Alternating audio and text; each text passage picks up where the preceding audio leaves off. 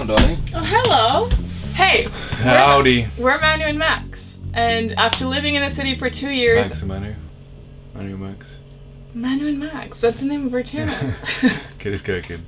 And after saving up for two years, we were able to buy our very own sailboat. And so today. What's it called? Pelican. Pelican. She's a Beneteau Oceanis 390 with three cabins, two heads. And today we've decided to give you a little tour because when we were boat shopping, we would have loved to see a couple boat videos. And About a Beneteau Oceanis 390, 1989. Yeah. Yeah, very cozy boat and we'll show you around today just so you get a sense of what we're living in. Welcome to our tiny home. A tiny Welcome floating to my cribs. For the do you remember that show? Smooth sea never made a skilled sailor. Franklin D. Roosevelt, 50th President of the United States. I actually don't know what number he was. He's probably much later. Probably like 70th, 80th. I'm now in cabin number two, or our bedroom. And I quite like it because it's very cozy, you see. Come in here, come in here. As you can see, it's beautifully painted by Manu. All, all, the, all the stuff has been taken off and painted. Yeah. And this really is a such, this a way better look. It used to have this achy headliner that you'll see from the next room. Yeah, from And we one. removed it and now it looks better. Open our windows, what we do every morning. Look outside, make sure the boat next door to us is still there. but anyway, the most interesting part of this is how I get out of bed in the morning. So, step one is put on the helmet. now that the helmet is on, I can get into bed.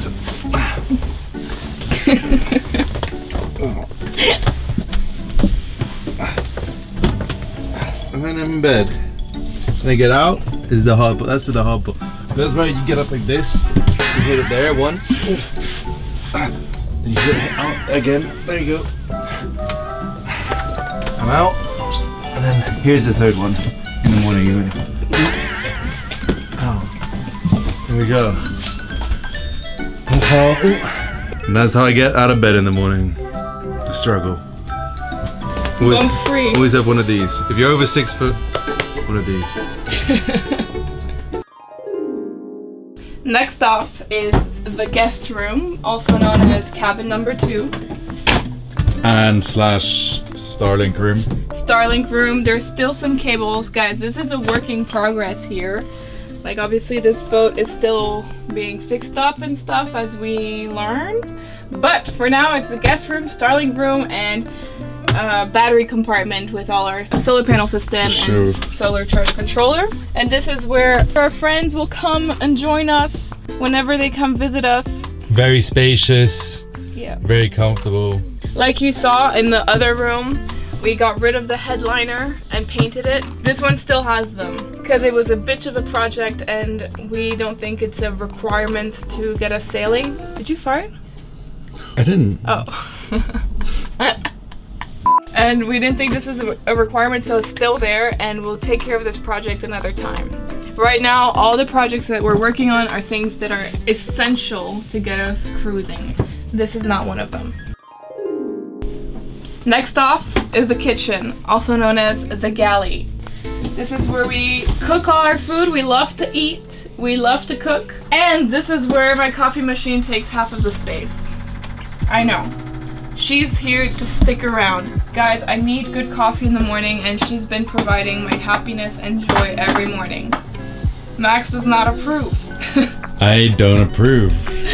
Take us through the cabin. What have we got in there? Here we have salt, olive oil, other essentials, our spatulas, our bowls and cups and glasses, our vitamins. Oh, talking about that, I need to take my little vitamin D. Mmm. One drop a day keeps the doctor away. Some other um, Tupperware. Tupperwares and our pots and pans. We got a propane gas stove. Yeah, propane gas and, and uh, we never have actually used the oven. No, not yet, but don't you worry. It will happen. This thing gimbals as well. If we're out oh, at sea. look at that. I never knew that. You didn't? And these are our fridge. We have two fridge, one refrigerator, and one freezer. We have to run that on the solar. We have to run her DeLonghi on the solar. hmm And in here, guys, we have all our food. Whoa! Look at all that food. Peanut butter, an essential. Whoa. Nutella, not that much of an essential. I just had, it was just that time of the month and I had to get Nutella. The essential matcha, all the goodies. They're hidden in here. Here is our um, forks and knives and utensils. Okay, I'm gonna take you into my favorite area of the boat, the saloon. This is where I like to kick back, relax, watch a movie, drink a beer, reminisce about the good times I've been spending on this boat. This is actually where we spend probably spend 90% of the time on our boat. When we go sailing, you'll be out there in the cockpit. Yeah, I'll be in here, she'll be out there in the cockpit. I'm joking. This is uh you know plenty of storage. We removed one of the waste tanks, so we've got plenty of storage as you can see. Extra clothes, that we have to put in bags. clarinet. Ooh, give us a little, give us a little tune. The clarinet's coming out, guys. This is clarinet music. This is clarinet music. Yeah. Yeah.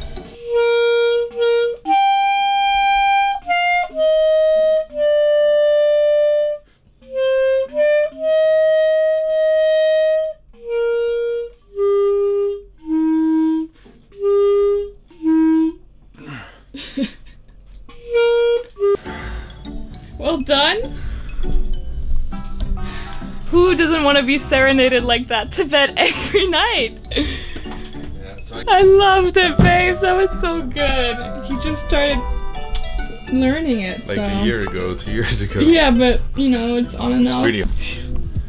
We're back. The saloon. One thing I don't like about this boat is the amount of space we have here. We saw similar Catalina, and this this was pushed all the way back, so you had much more room in the middle.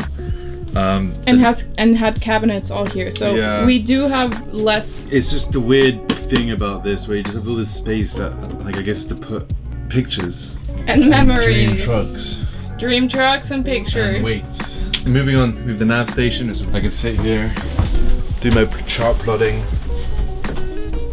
I'm plotting charts. Bam, bam, bam. Used to have a TV up here. We replaced it with this kind of these. One of the best things we have with little um, hooks that we can keep all our stuff on. With my fan actually, turn that on. Look how quiet that is.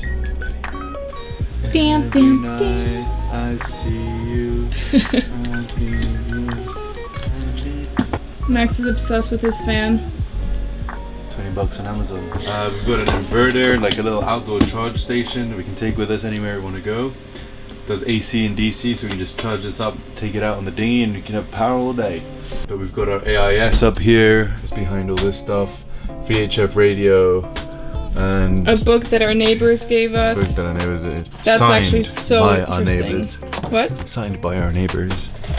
So, whenever I'm getting, you know, end of the day, long day at work, long day sailing, I like to come in here and uh, the lights on. But the original reason I got these LED lights and thought they'd be important is I can put them on red and I can have them really low. And that's just there for safety because when we're doing passages at night, we can have uh, like these strips of going up and down the thing. You know, you know, wait, it gives you like a frame of reference if it's pitch black down here. You don't want to have the lights on because someone's sleeping. The red really is like, you know, it's a low light, but you can kind of make your way around. My wildlife photo camera. I take my photos with my birds. Birds? I take bird photos. When he retires and he's an older person, he's definitely gonna be like a a really big bird watcher and go find the birds, just like you know, collect them like Pokemons. I guarantee. I'm a I'm a 70 year old man trapped in a 27 year old body. Yeah, so let's show the head quickly. It's right here. Yep. This is a fun one because I spent an afternoon removing it.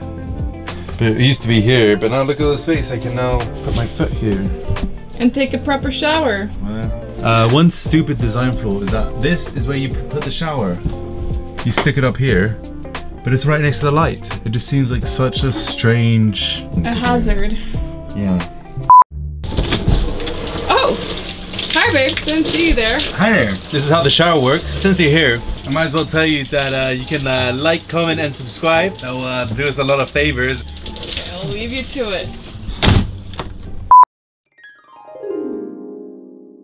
Oh, it's really hot in here. And that's a perfect transition to show you our AC compartment. Wow, this is the best bit. And now, What is this room called? The mess hall. If you get the reference, you get the reference. I'm embarrassed. I'd be too. Different This is where she sleeps. Can you believe that, guys? she likes. This is my room. This is where she sleeps. Ow. Ah. Are you okay? No, I'm not. Aw. You really bump your head everywhere, don't you? You should have taken your helmet here. If you guys have an idea of how to organize your boat garage, please let me know because uh, we don't, we're, it's messy in here. We're struggling. It's, uh, there's tools, there's fishing rods, there's halyards, there's our solar panels. And last but not least, head number two. It's where we go to the bathroom. Look at it. So we had one of these in the other room. Yeah, We replaced all of this stuff. all the tube was replaced. All this stuff. There, there you go. You sit down. Poop. Yeah, one of the sinks, tubes, and through hole is broken. Like it doesn't stop it and and let it flow. So we, for now, the temporary solution is, is to put a, a wooden plug. But this is definitely needing to be changed eventually. We'll have to haul out our boat and um, and change it. But I mean, we don't need to haul out before we leave, so this might stick around until we get to the Caribbean and do it there. Hey there. I'm just coming in from the companionway out onto deck to give you a little tour of the outside of our beautiful boat. As you can see, we don't have a bimini, which is uh, kind of sucks. But we've got we've got our good friend Janie. She's building us, making us a bimini, which is going to be tan, tan with navy trim on the side. It's to look amazing. And uh, we've got some solar panels. We're not to do the Renogy, uh, hard, hard solar panels in the end. We're to go for CIGS technology. Are really thin. They can kind of stick on the top of the of the bimini because we have no space here. This is where we steer. It's called the helm. I'm at the helm right now, steering. We've got autopilot, which is beautiful. Got a little table here. We've got a look. All the Beneteaus, you know, because they're French. They were alcoholics, so they love their wine. So that's where they keep their wine. We use it for storage. Here's our outboard, outboard crane, all that good, good stuff. Got a courtesy of Elon Musk. Okay, now we're done with the cockpit. I'm sure I've missed some stuff, but let's go have a look around the other. As you can see, we haven't put our jib up yet. We took it off for hurricane season because our good neighbor Klaus, who we're going sailing with next video, I have uh, Uncle Klaus, you'll meet him.